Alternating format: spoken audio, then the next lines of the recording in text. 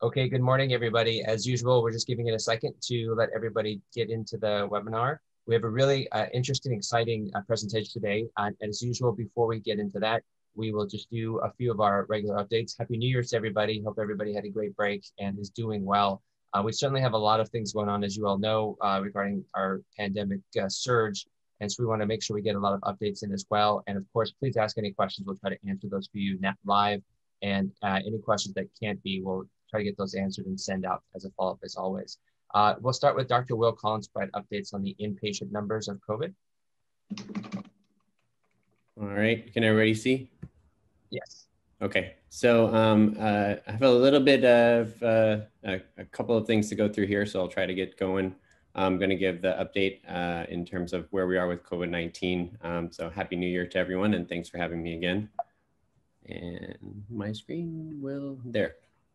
Um, so just uh, once again, orient, orienting us first to um, numbers in the United States. So uh, this is showing new reported cases, new hospitalizations and deaths by day in the US. You can see that um, all three curves have some sense that they are, are leveling out a little bit, um, which is good news, although um, around January 1st, we did pass now uh, over 20 million cases in the United States. And, and we still don't know exactly what's gonna happen post-holiday after the holiday travel season. Um, with regard to California, we're still um, very much in our surge here, maybe a little slowing um, there at the end of the curve of new positive cases, but we actually added over a million cases just in December alone in California, so still very much uh, on the upswing. And in the Bay Area too, um, still uh, continue to climb. This is uh, hospitalized patients with COVID-19 per 100,000. You can see that uh, the most prominent curve there is still Santa Clara, uh, the purple dotted curve.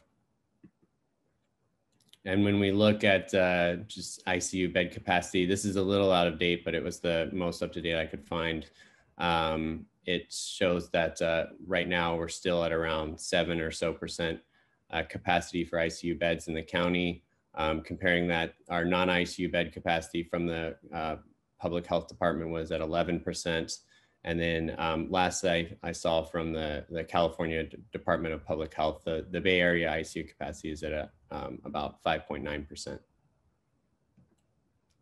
Um, looking at how Stanford compares to um, uh, the other hospitals in the county, um, again, I don't have the numbers for uh, the Palo Alto VA. Sorry, that was uh, brought up before. I'll see if I can get those in coming weeks. But you can see that uh, compared to other hospitals where we have information, um, we are definitely one of the, the higher in terms of census and certainly the highest in terms of uh, number of ICU patients.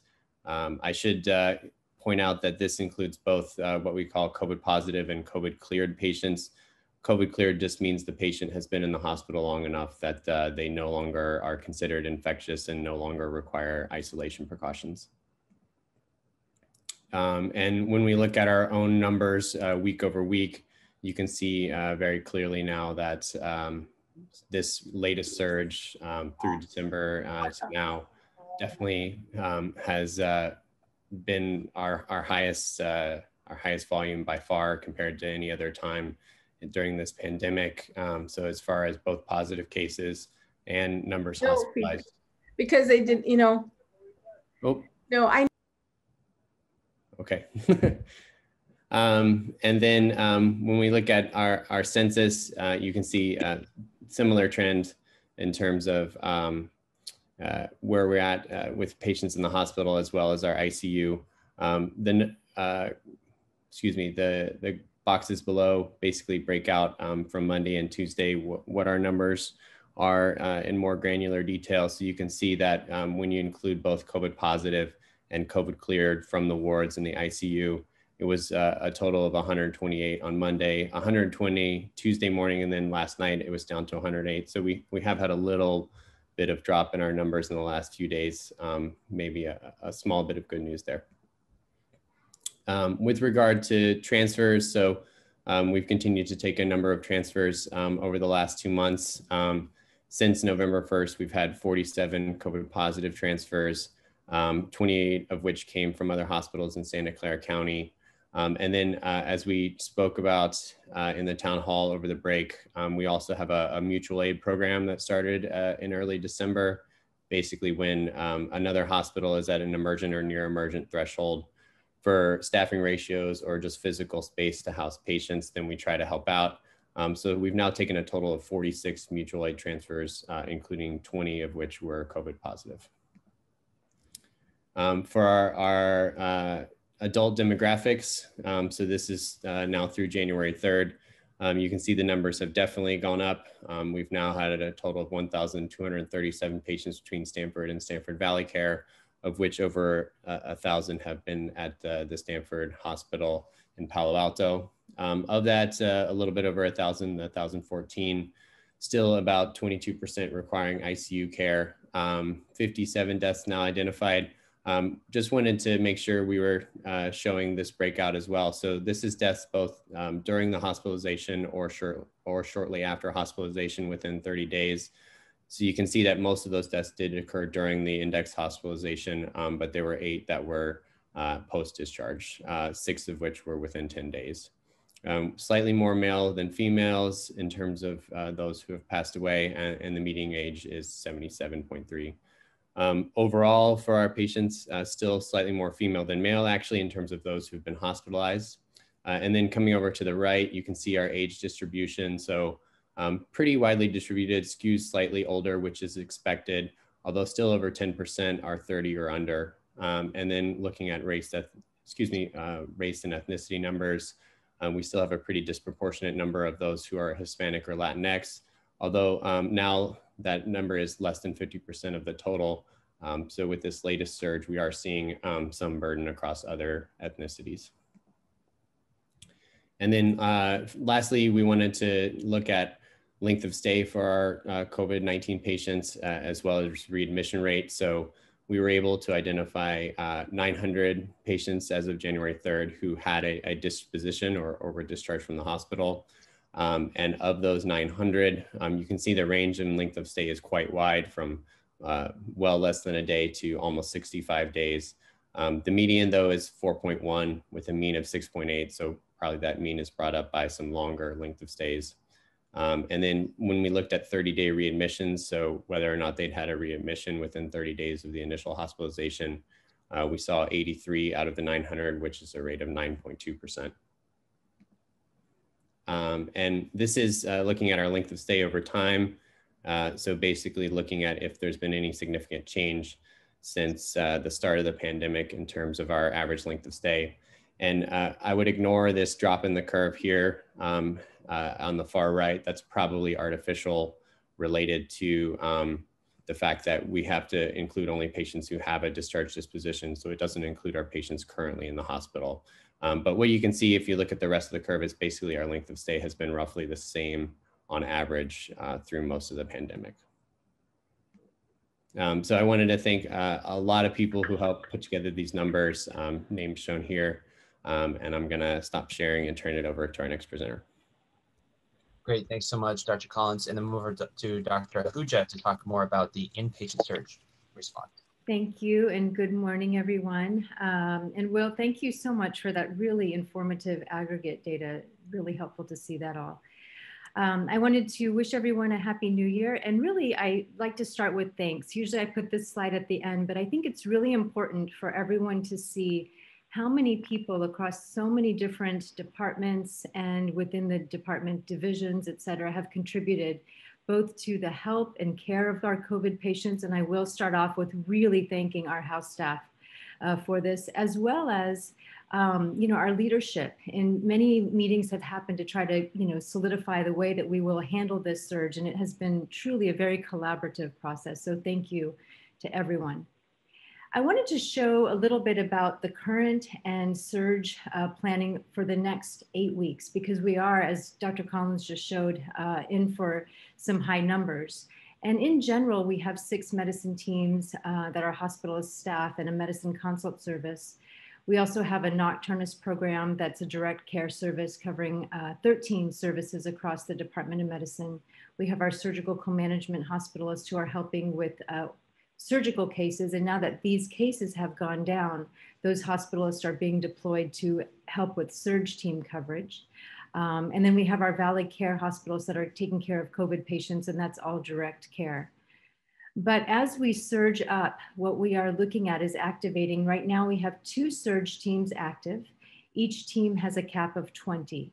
And this is in addition to our existing ward teams. And while the caps on those ward teams could also be 20, just due to the very complex nature of these general medicine patients, the sweet spot for efficiency is closer to 16. However, with the COVID patients, because the care is really quite protocolized, um, there's a lot of similarities in the way that we care for these patients with the very close help of ID. We um, have increased that cap to 20. So we will have a cap of 20 for each service before we activate the next. And right now we're at two surge teams. But in preparing for the worst, we decided that we would plan for a total of eight uh, surge teams. And so every morning I send to the division chiefs with the help of our medicine chiefs who put this census together. Um, and this is actually this morning's data. So you can see, you know, what the total census is and then where our surge teams are for the wards. Um, you can see that right here. So once we get to a stable number of 20, we'll activate the next surge team. But what I also wanted to point out is really how busy our non-medicine services can be. You can see hematology here, they've reached their cap. Oncology has passed their cap of 15 and is accommodating um, some additional patients. Hepatology, the GI service, the same thing. And at times the CCU and cardiology services have been very busy. Med 9 and Med 11 are non teaching oncology services, and Med 11 just started on January 2nd, so we were happy to see that. And then as you see here, the ICU remains really tight. Um, you know, they have three surge teams activated. And Dr. Weinacker um, asked me to briefly present on her behalf a few minutes ago. She's tied up with something, but she is on this call. So Ann, if you are able to chime in, if I say anything inaccurate, please let me know. But you can see the total number of uh, MICU patients here and then the COVID ICU numbers here. And then this morning we had 92 total COVID patients in house. The COVID cleared, as was mentioned by Dr. Collins, are patients that are still in the hospital but have cleared the infectivity uh, standpoint. So as I mentioned, we want to prepare for you know the extreme, and if we don't have to utilize all eight surge teams, that would be phenomenal but we have to be very cognizant of the burden we place on our house staff in staffing these teams. And right now, team one and team two have really been exclusively staffed by our Department of Medicine house staff. So thank you, um, house staff, for, for your time in this. But I will really acknowledge Ron Witteles and his leadership in his desire to protect your education and your training. And so with some very um, detailed negotiations and discussions with other departments and chairs under the leadership of Larry Katznelson and Ann Weinacker, we have come up with an agreement that you see here, um, where other radio, uh, sorry, other residency programs will help staff these surge teams. And I put these slides together last night, but was just recently informed that actually ophthalmology will not participate uh, in the surge, so ENT will cover that. But otherwise, you know, the, the services you see here will help. And pediatrics has also volunteered. So it's just nice to see so many people across the institution pitching in. Just briefly, there's a similar grid for up to eight surge teams in the ICU, and their cap would be up to 15 patients. And you can see different services uh, staffing here, and PEDS is PEDS critical care that would be able to help out. And just to give a brief, you know, sense of the orientation that will be provided for both the house staff and the attendings and staffing that team, and I'll talk about the latter in a second. You know, there's quite a bit of work, and I want to acknowledge the folks listed here in their help in putting together all of this material because for those coming in from other departments, there will be a little bit of a learning curve. But we have asked that they stay on for a full week, um, and that will help with the continuity of care. And as you look at our divisions across the Department of Medicine, I will say every single one of them have contributed in their own ways, including the non-clinical divisions, either through information or support or perspective. And, um, you know, it really does take a village and I am so thrilled to see everyone stepping up. And so I thought I would show you how the ward staffing has happened. And it's really just been by volunteers. The, the division chiefs have helped uh, ask for this. And you can see many names across many uh, disciplines stepping up for these surge teams. I wanted to keep a little bit of a, a, a, head, a leadway in staffing so that right now we're only at level two staffing, but we've got level three and almost all of level four staffing in place.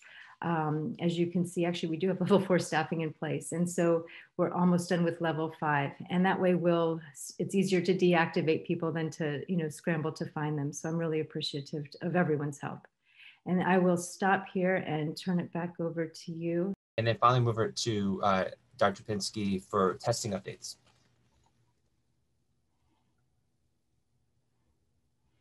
Thank you and Happy New Year, everyone. I will try to be brief. Let me share my screen.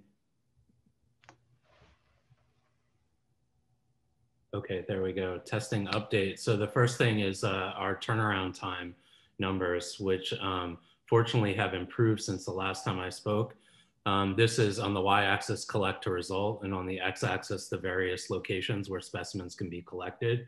And then uh, in black is the data from uh, prior to the winter break um, at the town hall in black. And then in gray is the um, data more recently ending on um, January 4th.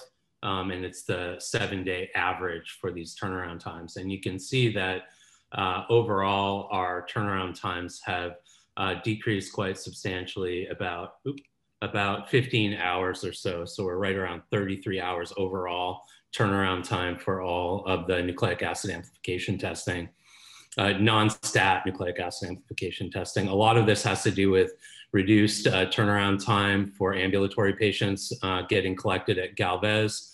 Um, but also, as, as Brian mentioned, we have a new workflow for occupational health testing, and there's been uh, substantial improvements there as well, uh, down to about um, 11 or 12 hour turnaround time overall.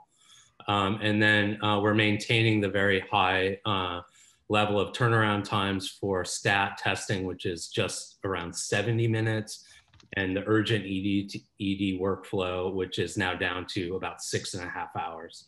Um, so overall, um, turnaround time is looking a lot better.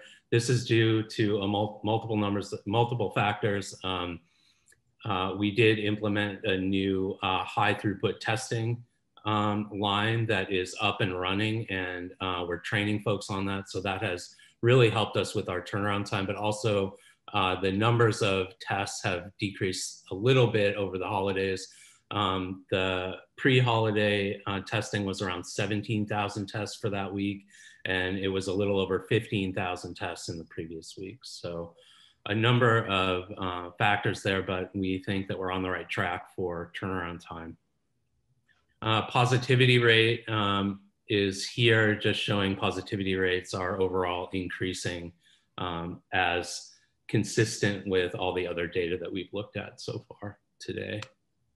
Um, and then I was asked to briefly go over our, to switch gears, our, our IgG testing algorithm, our serologic testing. Um, so this slide has a lot of information on it. So let me go through um, hopefully in an organized fashion. So the tests that we're using are here on the right. Uh, we're using a Euroimmun IgG ELISA. Uh, and, and I'll talk about the different antigens that are used uh, because that becomes important with the various um, vaccines, which are at the bottom. Uh, so this assay uses the spike protein S1 domain. We have an in-house ELISA that most of you have heard a lot about, developed by Katharina Röltgen and uh, in Scott Boyd's lab that works extremely well. This is a spike protein receptor binding domain assay. And then um, Katharina and Scott also designed an ACE2 blocking assay. This is a competition ELISA that gives you a bit of an idea of the functional uh, capacity of these antibodies and their ability to block the interaction between the viral spike protein RBD and its receptor ACE2. Okay, so here's our algorithm. Uh, for sensitivity purposes as well as throughput, we selected the Euroimmun IgG assay as our screening uh, IgG test. And then we break that down into three um, workflows. So if it's less than um, 0.8 ratio signal, uh, we report that as negative. A majority of our tests uh, for IgG are still negative. Um, if it's greater than 2.5, that's reported as positive, and then it automatically goes to ACE2 blocking. Um, so you'll see that in, in the results. And again, the ACE2 blocking is an assay that looks at the um, ability of the antibodies to block this interaction between RBD and ACE2. And it's similar to neutralization. Um, however, it's a little less sensitive than neutralization. And then the more complicated part is when we get into the borderline cases. This is between 0.8 and 2.5. Uh, for that, we do what the CDC calls orthogonal testing, though I'm not sure that's the right word um, and we perform a second RBD, uh, a second ELISA, uh, which is the RBD IgG. And the cutoffs there are 0.3. So less than 0.3, it's reported as negative, and greater than 0.3, it's reported as positive. So this is relevant for the various approved and authorized vaccines. Um, so the vaccines that we're using currently are the Pfizer and Moderna, they're the mRNA vaccines that encode the spike protein. So those of us that have been vaccinated and will be vaccinated will be detected by this algorithm. In addition, the Oxford and Sputnik vaccines, which are adenoviral vaccines, also encode the spike protein gene. So again, because these assays detect spike, uh, we will detect those, those individuals that have been vaccinated with those vaccines. Um, previously, we were using the Abbott assay that uses uh, uh, the nucleocapsid as um, antigen. So for those, for these vaccines, that assay is unlikely to, they, they won't detect um, the response to vaccination since N is not in those vaccines. And just for complete, complete sake, for those individuals that um, receive their vaccines out of the country. Uh, the, the vaccine in China that's approved is Sinopharm.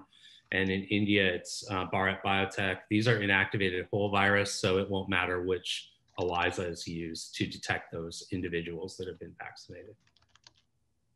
So that's all I have for testing. Uh, thank you for inviting me again to present. I'm happy to answer questions on the chat. Great. Dr. Pinsky, thanks so much for the updates. And yeah, there's definitely a few questions there. So thanks so much, as always, and all, all last year for helping with those questions. Um, I just want to, so Dr. Uh, Wood is our main presenter today. I just want to briefly say next week, we have a great presentation talking about our new mRNA vaccines. Uh, there'll be a lot of questions on.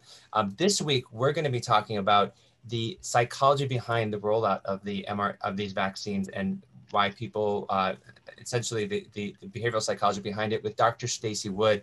Dr. Wood, I apologize. Uh, first off, thank you for all our, our, our updates, are really important updates. And speaking of how uh, busy times are right now, we want to make sure those updates come up but Dr. Woods, I'm so sorry. Uh, we're cutting into your time a little bit. Um, definitely a very interesting uh, conversation you're going to have today talking about red versus blue states uh, um, vaccine distribution. I just want to briefly say a few things about Dr. Wood. Uh, she has a PhD in marketing from the University of Florida. She is currently the Langdon Distinguished University Chair in Marketing for North Carolina State University. She's the executive director of the North Carolina State University Consumer Innovation Collaborative and the senior affiliated scholar for Duke University since 2008. Um, she is very involved uh, with consumer innovation behavior. And I will let her, you, will get a, I imagine you'll get a better sense of that as she talks, but I just want to mention a few things. Um, she's first off, a highly um, uh, busy uh, person, uh, pub publicizing many, many, many articles. Looking at her CV, she has over 10 articles with 100 plus citations and thousands of citations. And this is as of uh, middle of last year. Um, and what was really interesting is looking at some of the stuff she's done and some of the work in progress. Dr. Wood, I, I'm already I'm excited. I was thinking last night looking at your CV. I'm already excited to invite you back for another grand rounds this year, looking at all the amazing stuff you're doing. She's looking at how the language used in tweets about cancer versus heart disease may impact patient choices. Uh, the behavioral analysis, uh, looking at our, our Duke Stanford uh, baseline study at Google, managing resources during medical crises, uh, improving physician persuasion techniques against viral misinformation, misunderstanding the impact of new technology on physician burnout, things that we are constantly dealing with and talking about all the time. So, um, and just it's amazing how marketing and psychoanalysis, uh, sociology, all these things playing together. We were talking about this earlier. Uh, thank you so much for joining us today. And I'll turn over to you. I apologize again for uh, cutting into your time, but uh, we're looking forward to hearing from you. Thanks so much. Thank you. And honestly, I am delighted for any amount of time that I get with you here today. Um, this is a big topic, uh, exciting times, and uh, all of your updates um, are, are, frankly uh, a good lead in to the importance of what we're going to be talking about today. Now, uh, in order to prepare for today, I uh, took the opportunity to watch some of uh, your recent uh, Grand Rounds lectures, and I was so impressed. Um, not only is this an intelligent, thorough, detailed uh, community, it really is a community, and there's so much caring and uh, thoughtfulness in all the ways that you um, interact with one another. So I thought you might be interested to know that these are my parents, Wade and Marcia Wood, and uh, my mom uh, was a nurse, uh, both in the emergency department and in public health nursing. And my dad uh, was an engineer building power plants. And this is a photograph of them uh, from when we lived in the Bay Area.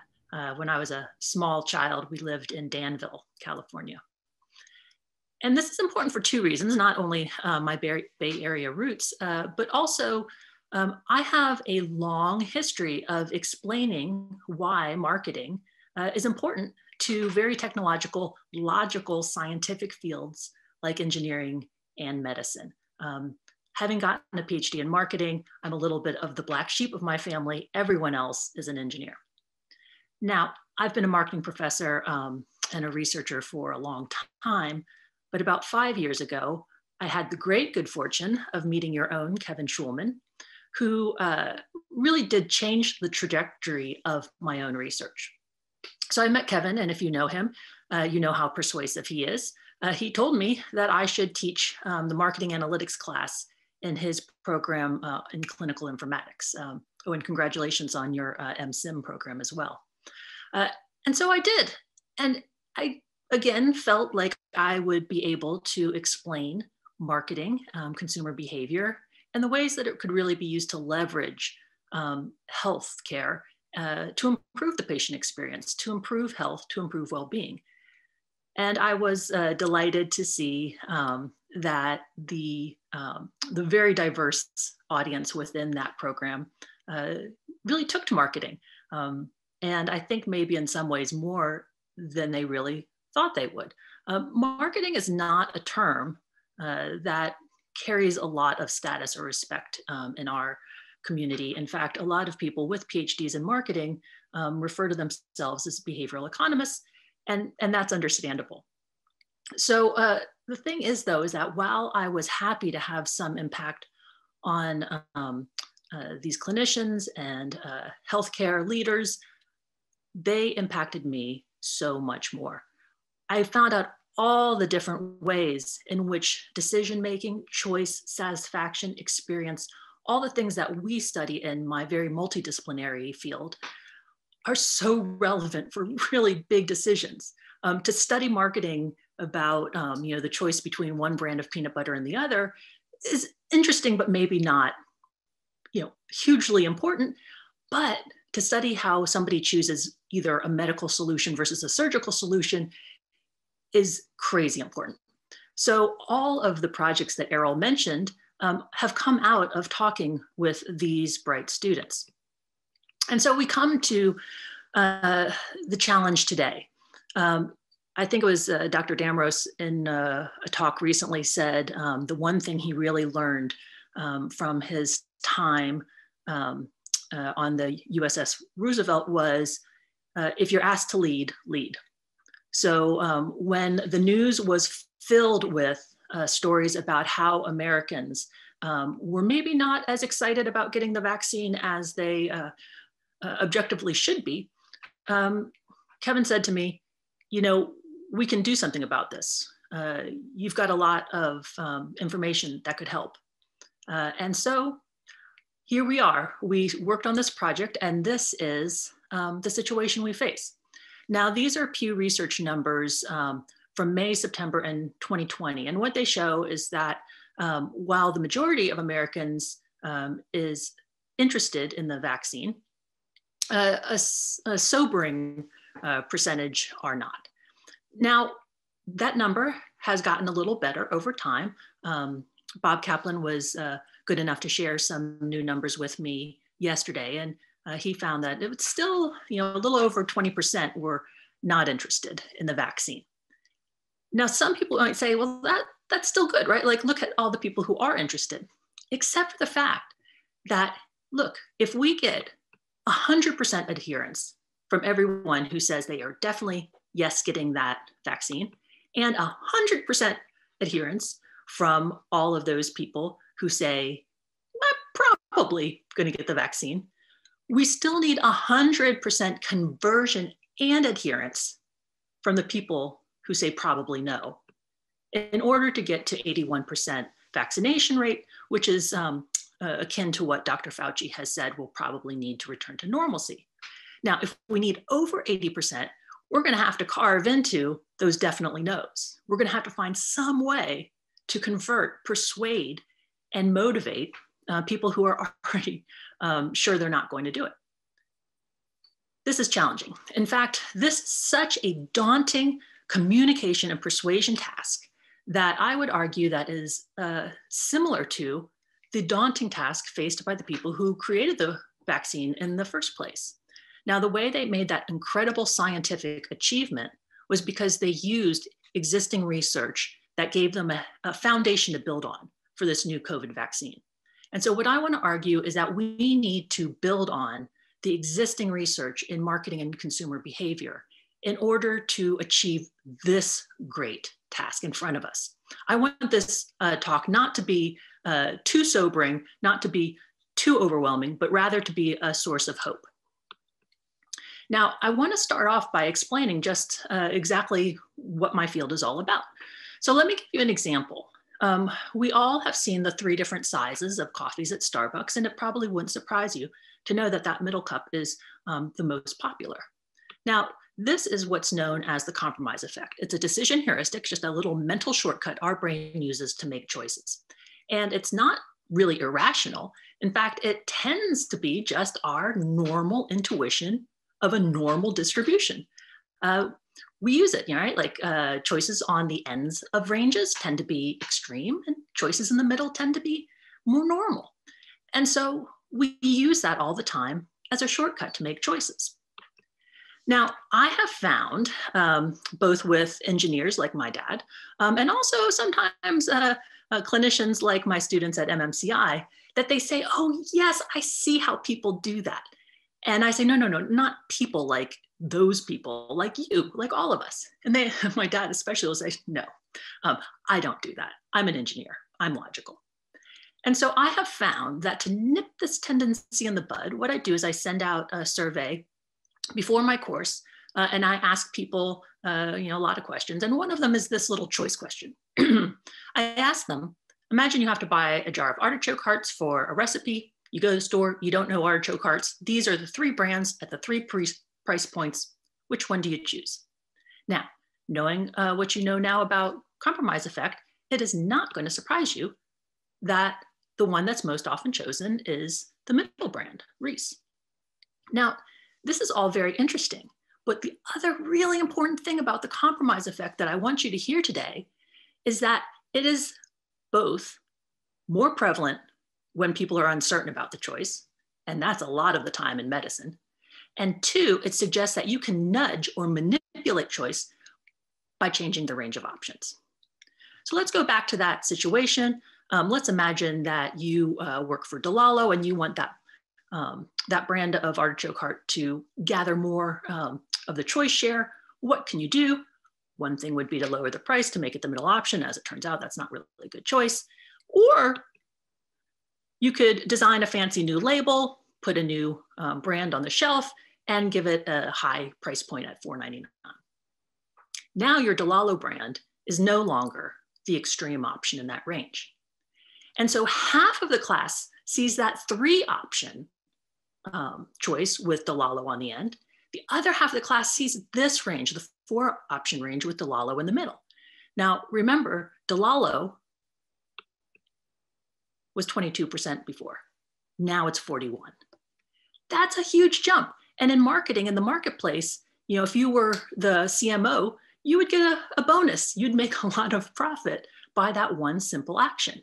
However, how much more important is this when it's not about you know, market share in the grocery store, but it's you who have a public health initiative and you move 22% of the people participating to 41% of the people participating.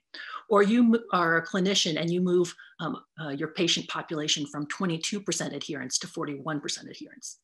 Now the profit is instead patient health and well-being. Um, so that's why, to me, this is so exciting. Now, this doesn't mean that um, Starbucks um, and other people don't make mistakes sometimes. Starbucks did. It introduced a smaller cup of coffee once. That was disastrous. Um, and they learned a lesson. The next time they introduced new cup size, it was larger. So here we see that this really matters to medicine. Now we can see it all over the place. I often think of it when I choose my health insurance for the year. There's Duke Basic, Duke Select, and Duke Options, and they go just like that down the line. Um, the amount of services is traded off by the amount of money. Um, and every year we choose the middle option, Duke Select. Uh, also, I often think of it when I'm at the doctor. So luckily, um, my family practice doctor knows me well, but recently I went to see her and um, I was concerned about something that looked a little weird to me, acted a little weird to me. And so I showed her, told her, and she said, look, I see what you mean, but I honestly don't think it's a problem. Um, now, we could uh, look into it more, um, but that would require an invasive um, and costly surgery that has side effects of its own, uh, risks of its own. Or we could just do watchful waiting and keep an eye on it. She offered me two choices, and it was miserable, right? Either I could be the person who was wasting society's money with this unnecessary treatment, or I could be the person who totally ignored my own health and somehow died a terrible, terrible um, death because I had not trusted myself. Um, these two options sounded extreme and awful. So um, I had a talk with her and I said, here's how I, I think you could have presented it to me. You could have said, I see your, your concern. Um, I don't think it's uh, going to be something serious. Um, and we have three options. You could have it, we could have it looked into, but that would require an invasive surgery with costs and side effects of its own. We could assume that I'm right and just ignore it and go on with our lives. Or we could do watchful waiting, which means that we set an appointment for four months from now. And in that time, you watch it and you write down anything it does that's different or changes. And then we reassess. That made me feel so good about watchful waiting. It was the normal, middle, compromise, moderate, sensible thing to do. So think about that. Think about how it impacts masks. Now, masks are a situation that, frankly, we didn't handle as a country very well. Um, when uh, it came to discussions in the summer about whether professors would wear masks on campus, back when we thought we'd be on campus, silly us, um, this was a big topic. And so um, a professor was very, you know, some professors, let's see, here's our, here's our uh, professor hero. Um, should she wear a mask? Well, at first it, they said, okay, well, you could wear just, you know, a fashion fabric mask of your own choosing, or we could give everyone masks that are kind of like this triple seal and have this little filter. Um, and again, people are like, ah, masks, still a lot of grumbling. But then we could have had it presented to us as well.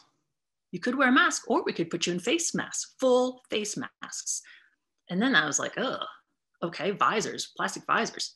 Or we could have plastic visors with the cloth face masks, or just full on hoods, full on medical hazmat hoods. And it was at this point that suddenly that just simple mask option doesn't seem so extreme. It does, it's, it's literally the least that professors can do to ensure the health of the classroom.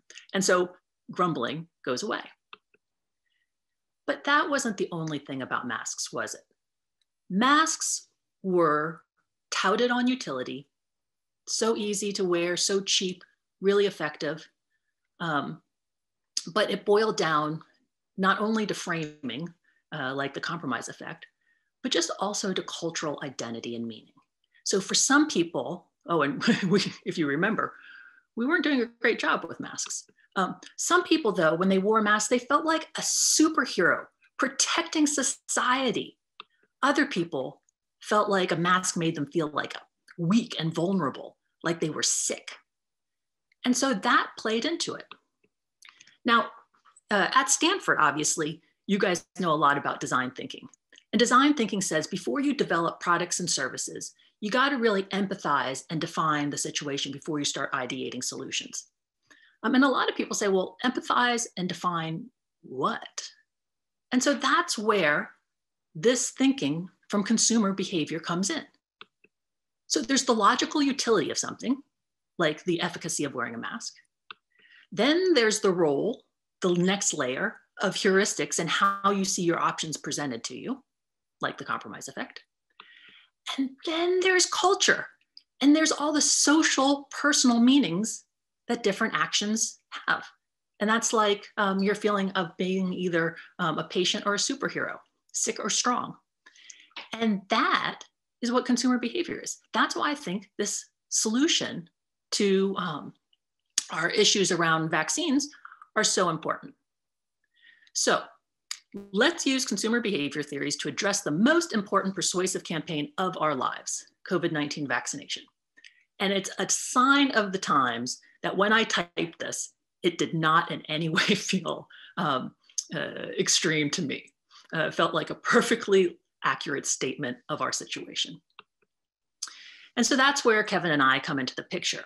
Now, the Red and Blue States title today may have told you that we're going to be looking at identity segmentation, and in some ways we are. Um, and there is some evidence that red states and blue states, or Democrats and Republicans, have different feelings about um, the vaccine. Uh, interestingly, Republicans early on felt like the um, they were less likely to feel like the vaccine was going too fast um, more likely to think that it was uh, going too slow and delaying access to the vaccine. But uh, again, thanks to Bob Kaplan, who uh, shared some early findings with me yesterday, uh, it is true that there are political um, identity uh, motives here. So he noted that um, a really key factor is whether people think the election was stolen, the presidential election. Um, and of those who do, um, almost half uh, will not get the vaccine, say they will not get this vaccine under any circumstances. But we make a real mistake if we boil it down to that duality. Um, and I think that's the mistake we made with masks. Uh, that is a reason, but it is not the only reason. In fact, it's not even the one of two reasons or three reasons or four reasons. There are many reasons um, why people are vaccine hesitant. So if we go back to this idea of um, looking at these different groups, if we look at it from a marketing lens, what we see is that there are four segments here. We have our very interested segments, are probably interested segments, are probably not interested, and are definitely not interested.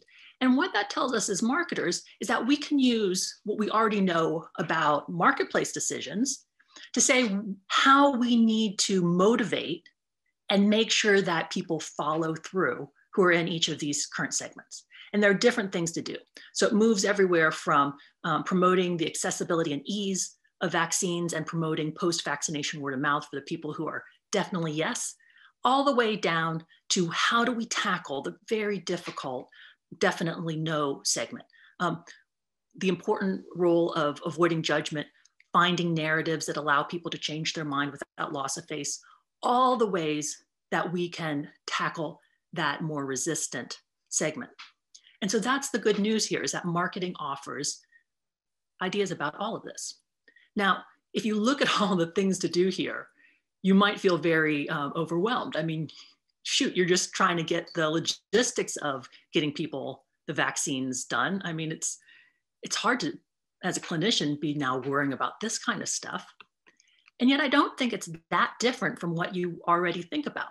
So if you think about sort of a precision uh, medicine mindset, that's what this is. It's like precision communication.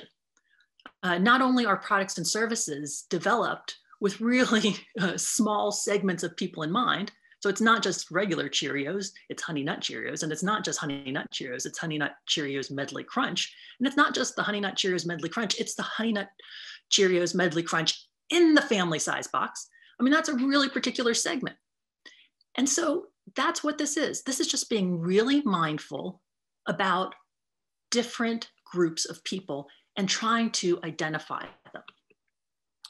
And so um, what Kevin and I have come up with are 12 behavioral factors that are going to be really influential in the ways that you talk to people um, about the vaccine and how we promote it, both at kind of mass um, channel levels um, and also just in one-on-one interactions. Now, I want to uh, very briefly, in the time that we have, go through some of these. So the compromise effect is a really clear one, right?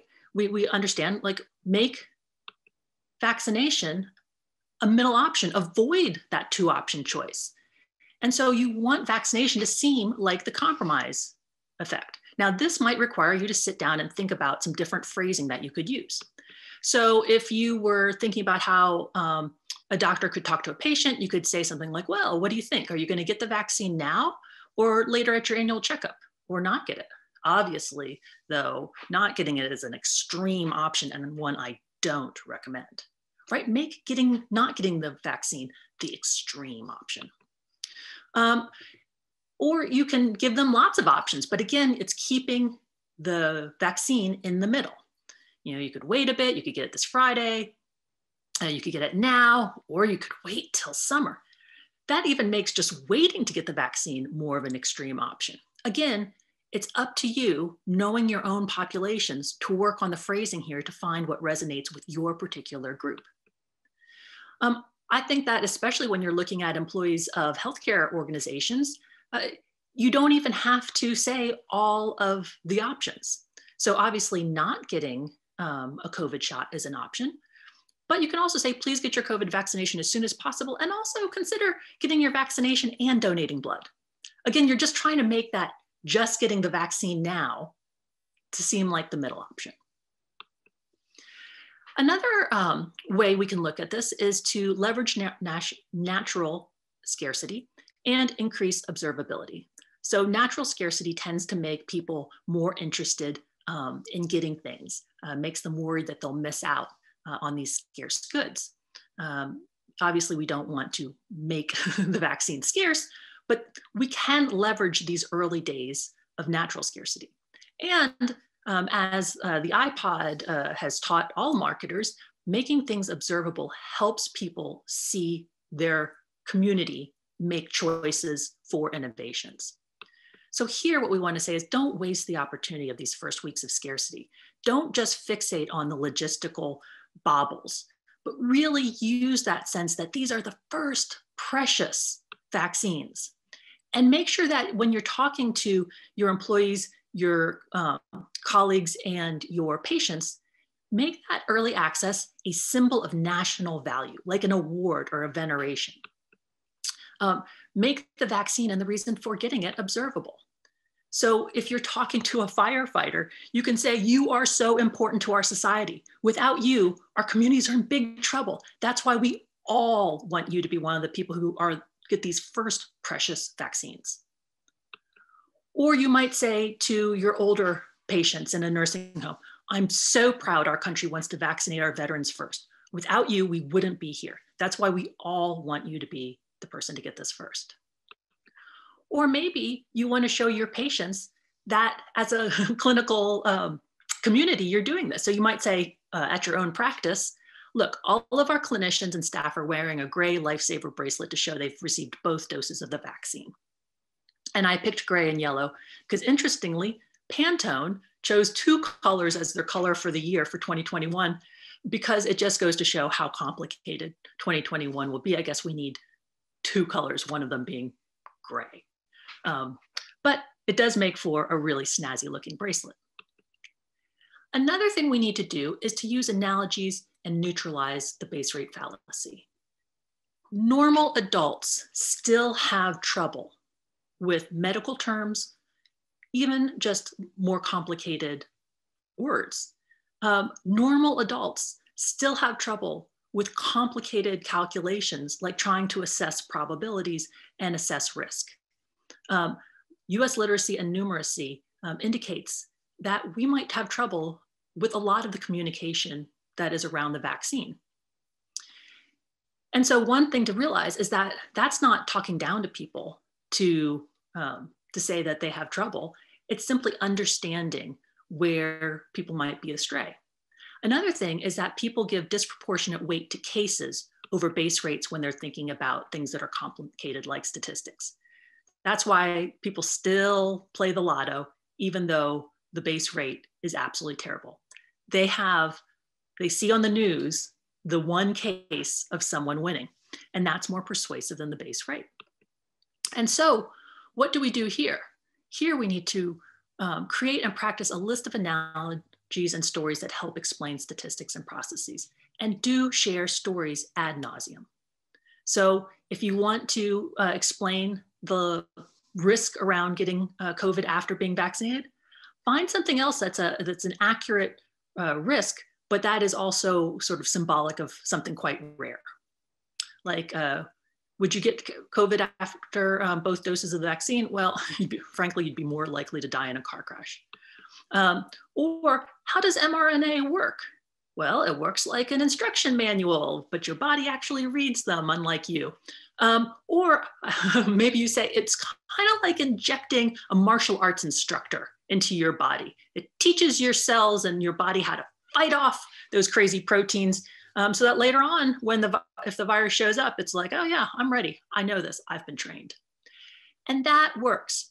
Now, I took this from the Stanford website, um, and in my last minute, I can just point out that I saw this word recipe and I thought, awesome, there's going to be a recipe analogy, um, but it didn't go that way. And even for somebody with a PhD, I got to the word anti-genicity and kind of stopped reading there.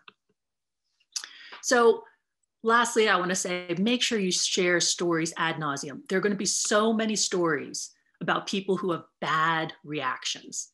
Um, and if you want to see that, just go to Twitter, type in bad reaction to COVID vaccine, and read thousands and thousands of people who are literally anxious about the different stories they're hearing.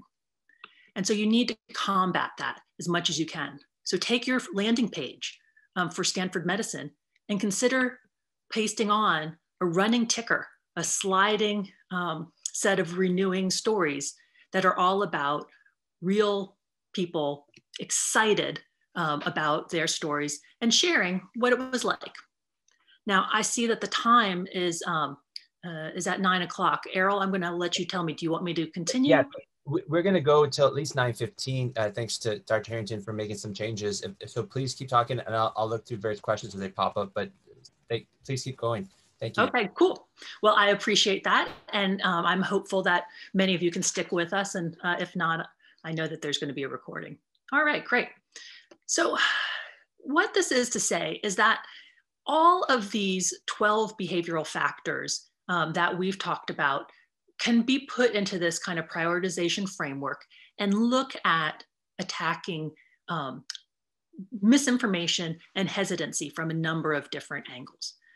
But what they all have in common is this sense of looking for individualized small segments that have you know similar um, similar characteristics, if you will. So what do you do today based on this talk? Well, for all medical personnel um, who uh, are seeing this, the first one is listen to your populations. Your population in California will be different from populations I may talk to in North Carolina. Um, your populations in a nursing home might differ from populations you see um, in a, different clinic. So listen to your populations for those hurdles. And then start, if you will, imagine bucketing them. Uh, I borrowed this uh, term phenotypes. Um, categorize your phenotypes. Like, what are the different reasons you're seeing? And watch that you don't do it just on kind of like the standard demographic stuff, just on gender or um, income or um, education, but really look for the motivation. What is motivating people?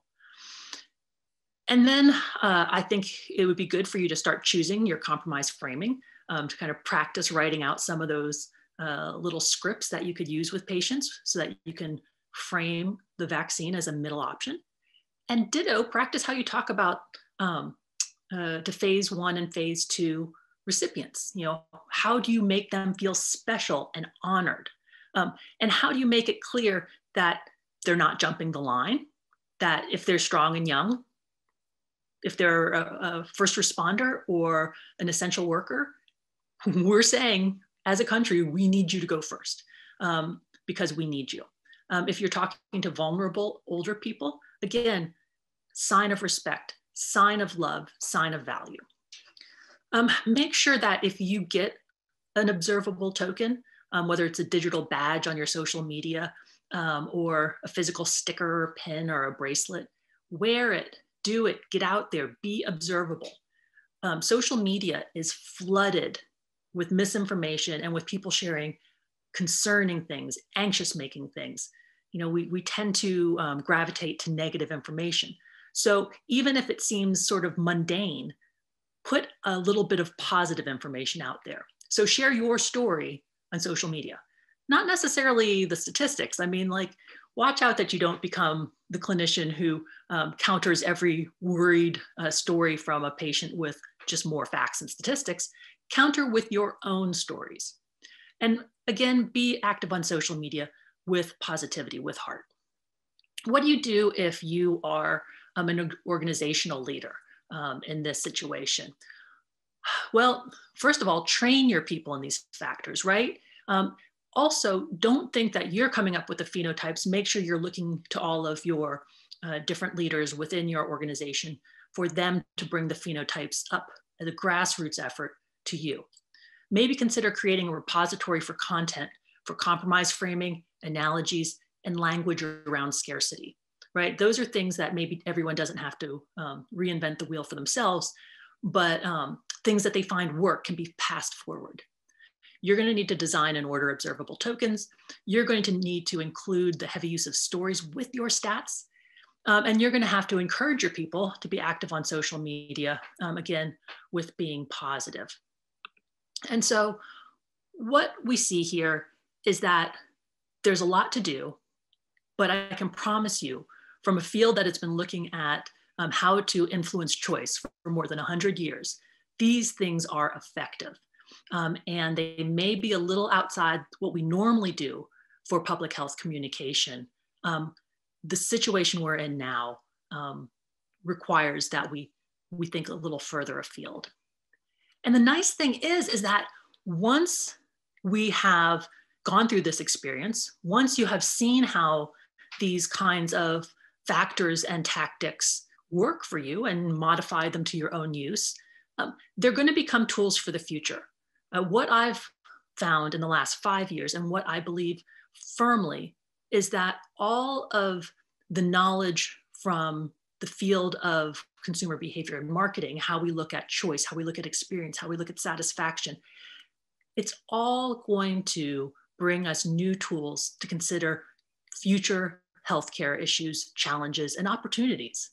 Um, and one very obvious example for me is another project uh, with Kevin Schulman, uh, a Stanford business case that we wrote together on how Amazon Alexa might be used um, to increase patient engagement um, in the digital uh, healthcare future.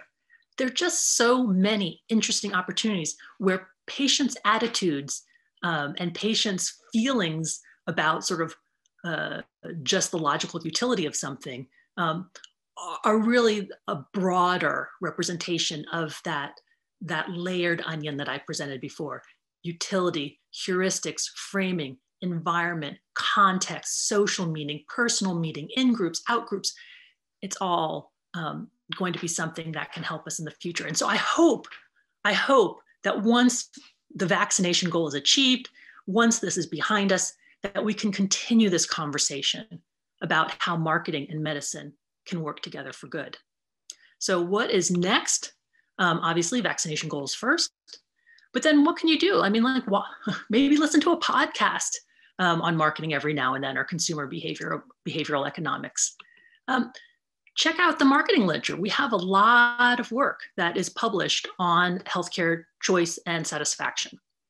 And it may be a little um, radical, but maybe there should be a marketing class in med school. Well, honestly, thank you so much for the time you've given me. Um, I know we've been brief, so please, please feel free to email me with further questions, joint project uh, suggestions, whatever you like, or follow me on uh, Twitter, or um, go to the Journal of Consumer Research and look at some of the free resources that we have there. Uh, with that, I don't know that we have time for questions, but I really would love it if we did.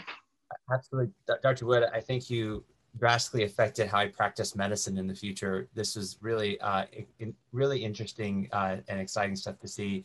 Um, I don't think it would be um, crazy to have a marketing class basically after this, hearing what you had to say about this as well. Um, thank you so much for this presentation. And again, sorry for, for rushing you with time.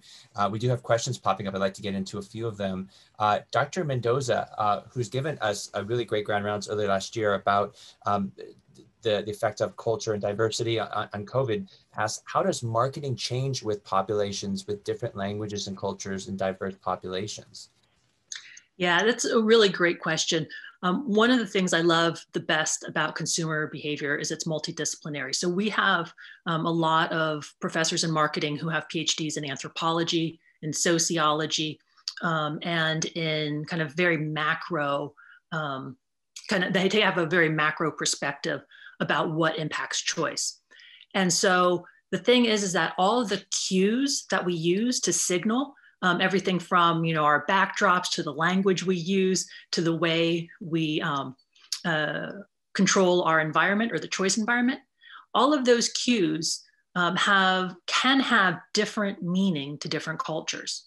Um, so going first can feel like status being at the front of the line or it can be it can feel like being a guinea pig um, being you know taking going first. I have a seven year old daughter who's very risk averse she does not like to go first on anything.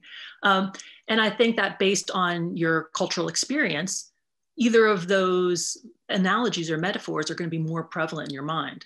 So um, when you have to understand your population um, that's why i say don't you big organizations you don't think about you know who these phenotypes are. You let it come up from um, your people you know, your boots on the ground to tell you uh, what they're hearing so that that the voice of the patient is really strong Great, thank you. Uh, Dr. Harrington, uh, Dr. Wood, do you didn't get to meet Dr. Harrington. He was at another meeting, but he popped on. I'd like to uh, cue him to ask a question.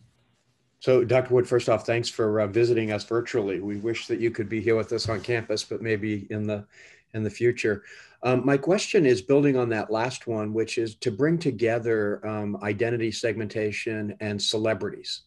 How do we, there's been a lot of talk about using celebrities in the campaign for vaccination, and maybe those would be different in red states, blue states. Do you want to talk about the use of celebrities in, uh, in marketing? Uh, honestly, you couldn't have asked me a better question because I recently published a paper on uh, celebrity effects in uh, mammograms. And so, looking at 20 years of data um, from the CDC, what we found was that um, uh, celebrity breast cancer incidence um, was actually not impactful on mammograms, um, contrary to what people thought of with, you know, sometimes they call it the Angelina Jolie effect and whatnot. But here's the thing is that it wasn't the cancer incidence, the, the, the celebrity having it, it was the number of news stories about the celebrity's cancer that changed mammogram rates and changed them really radically. Um, so it's not that people believe celebrities more, um, it's that celebrities keep choices top of mind. So um, if you think about it from the mammogram standpoint, you know, I need to get a mammogram. I know that I'm just busy. I'll get around to it. I know it's important. I'll get around to it. If there's a celebrity in the news with breast cancer and that's popping up in my news feed over and over again, I remember to make that appointment. And honestly, for all of those people who say they definitely will or probably will get a vaccine, that's important, right? Like, again, just you know that idea of adherence, getting those people to make the actual appointment is a job in itself. So celebrities can really help with that, right? It just keeps it top of mind, like, oh, that's right, got to get to that. A celebrity might not convince the person who's you know completely against it, but they will keep it um, as a salient behavior, makes it observable. That's it's it's really nice because in a way it says uh, celebrities can help, um, but really they're not they're not taking your job, right? Like they're they're not convincing people about medical advice. Dr. Wood, uh, uh, Julian Twiggs asked, there's a lot of uncertainty about the vaccine side effects, efficacy, efficacy, microchips, which uh, you said can be easily found in places like Twitter. How do we get people away from this anecdotal evidence or rumors, to convince them that they should not be concerned with things like this?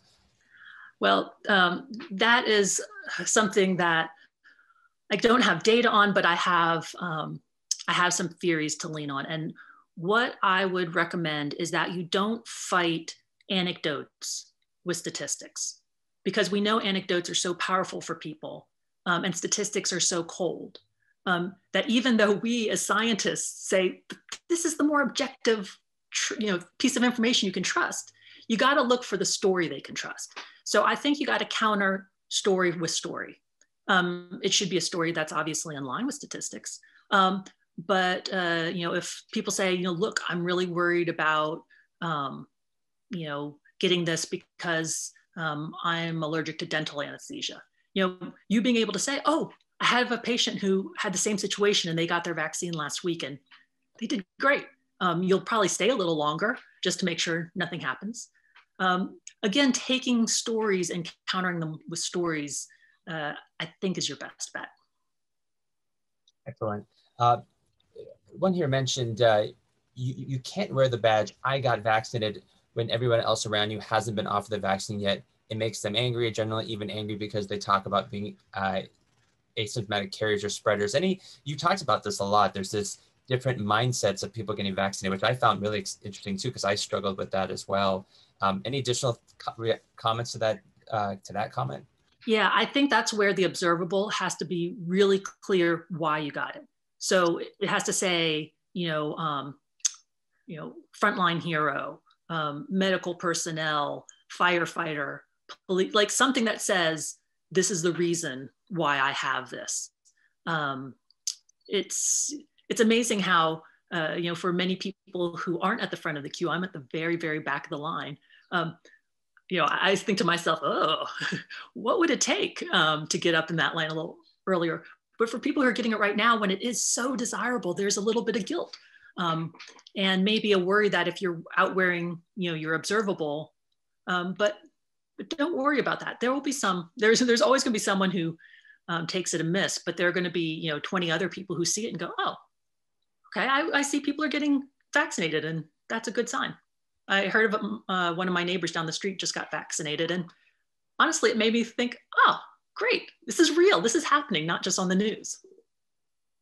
Uh, Dr. Wood, one last quick question. Uh, it's quick, but uh, drug companies, are they good at marketing? Is there anything we can learn from them? well, I have to admit that um, early in my career, um, some of my consulting work was with pharmaceutical companies. So um, I apologize if I was too good um, at teaching them stuff. Um, mm-hmm. oftentimes they are. Honestly, there's just like any other companies um, in the marketplace. Uh, some are just top notch and have been doing it right for a long time, and others, uh, that's not something they've learned about. Um, I think it was Dr. Barron who said in one of your um, uh, one of your uh, grand rounds recently, it's not something I knew I needed to know, but I did. Um, and I, so I think some pharmaceutical companies come to realize that they've got, for, I think for pharmaceutical companies, they need to realize they've got three different decision makers that they have to have a different value proposition for each one a, a specific value proposition for the patient, a specific value proposition for the prescribing clinician, and a specific um, uh, value proposition for um, the payer and how you know how you're uh, rated on formulary. So those aren't always the same. So when you see a, a, a, pharmaceutical company having a different message to those different decision makers, I think that's a, a quick way to go to know whether this is a savvy um, a savvy uh, pharmaceutical company. And well, yes, I, all those little giveaways, they really do work.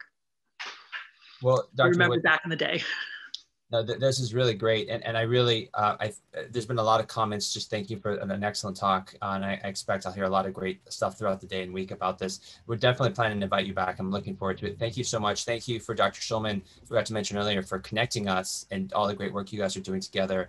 And uh, again, thanks again. Um, if there's any additional questions, uh, I'll, I'll, send out to you to get answered. And thank you for everybody for sticking around. And uh, have a great rest of the week. Thank you. All right. Bye bye.